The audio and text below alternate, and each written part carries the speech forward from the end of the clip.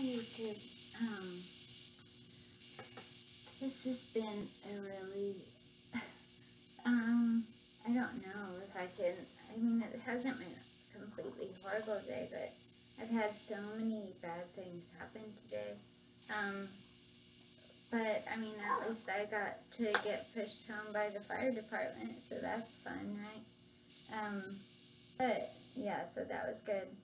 But however, I really I need a new wheelchair. Um, this is the I think second or third time that the fire department has pushed me home. Um, plus all the numerous other times that they haven't had to push me all the way home because somehow we got it working for you know by some other way. Um, so anyway, I need my new wheelchair. It's this one. I've had my other power chair for over seven years, and it's just it's falling apart. Um, and now it's the error that it's having today is um, called like it's a brake error, and so um, I don't know. I've never had that kind of I've had the joystick go out, I've had um, other error codes, but never the brake one, and that's what it's showing now. Um, so my chair is out there. I'm gonna get the charger and try fully charging it and see if maybe that, I don't know, triggers the error, like resets it or something. I don't know.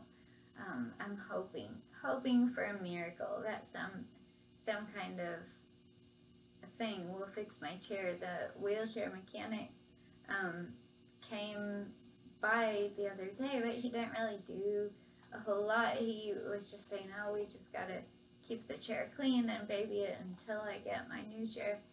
But, but the new chair has taken over two years. Over two years, I've been trying to get my new chair through Medicare, and it's still not here. And like Medicare, as I already mentioned, they aren't paying for the seat lifts anymore, the most important function I use. Um, and so that's going to cost an extra $2,700 out of pocket. Um, and then, you know, I need a van. So it's all this stuff has got me stressing um, because how, like, maybe I do need to try to get a real job. I mean, don't know. Every time I think about it, then it's like I pee on myself or poop on myself or whatever shortly before I'm gonna go do an interview or whatever, and it's like maybe my body is trying to tell me something. I'm not cut out for a normal job. Um, but I really do want to write my books, um, and that could, in theory, make money, but it's so hard to force myself to sit down and focus. And then now, like, I'm, my butt is sore already, and then I have to ride around in the manual wheelchair, which is even more uncomfortable. But um, I don't have any, like, any of those disposable bed liners.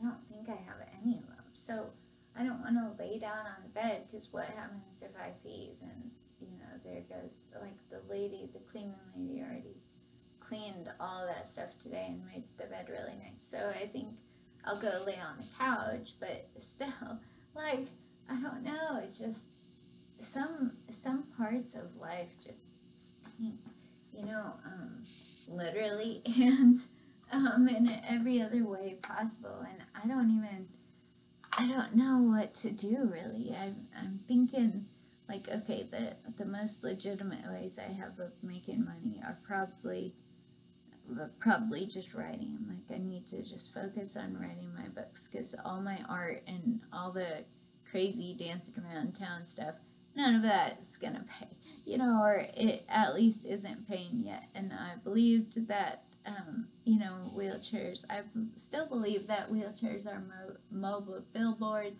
and um, you know, we should all just get paid for going out and doing our thing. Like, we would be the perfect advertising vehicles to take brands wherever. But anyway, nobody else seems to agree with that.